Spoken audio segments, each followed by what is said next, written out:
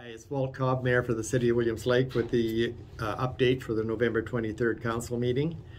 We had a couple of delegations on, on the meeting. The first one was the Purple Ribbon Campaign for December 1st to 10th.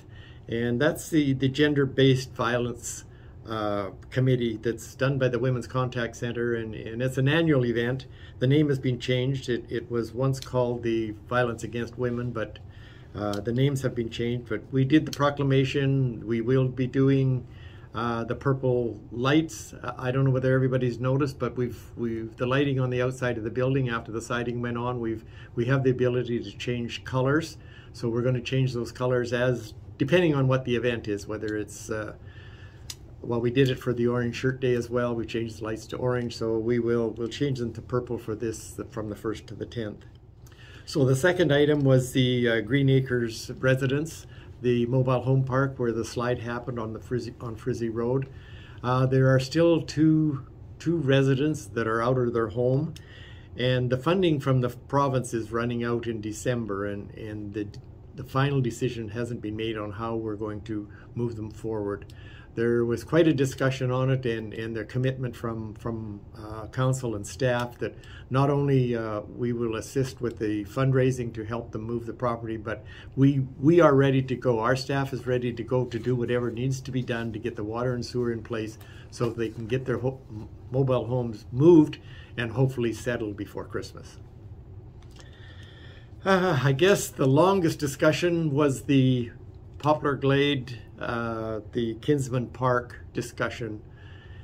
It went, it went on. Um, there was a lot of, I guess what I need to make sure that people understand that there was a lot of discussion about the sale of the property. The idea is to take it out of parkland so we can develop it for housing.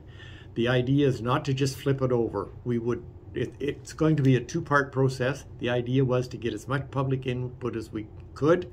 We have done the survey. The surveys come in. Uh, there, there are different options that people people would like to see.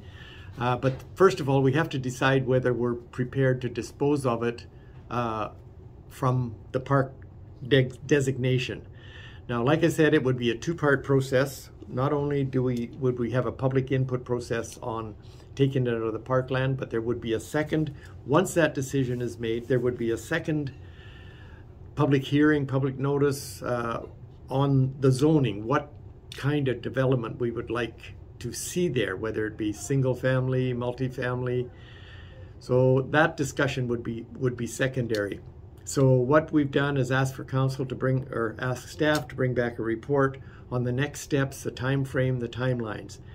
Uh, we, we have two options, whether we go to the AAP process or whether we go to a referendum. A referendum would probably, it takes a lot longer, so the decision was made if we can, if we can get it through a different process, get it to happen so we can get something happening on the ground uh, as of next year.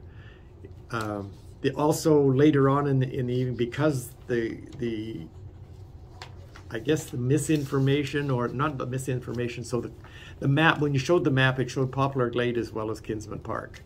And there is a there is the thought that it's all one piece of property. Well, it isn't one piece of property. The school board still owns the other. And the idea is that we will continue to meet with the school board to see if we can access that property as well. Because there's two or three other bidders on that and, and uh, we'll have to wait and see on that. But that's probably a five-year project. That's the reason we were moving forward on the on the Kinsmen Park to try and get something happening within the next year. So we've got doctors, we've got lawyers, we've got nurses that can't find housing, and we want to get something to happen as soon as we can. So the good news for the evening was the Central Mountain Air is returning uh, four flights per week starting December 16th. Um, this is a sign that, that things are getting back to normal after COVID, but also the opportunity for people to get back and forth from the lower mainland because of the floods and the road closures and everything else. So that's that's the good news, and uh, we're looking forward to getting them back at the airport.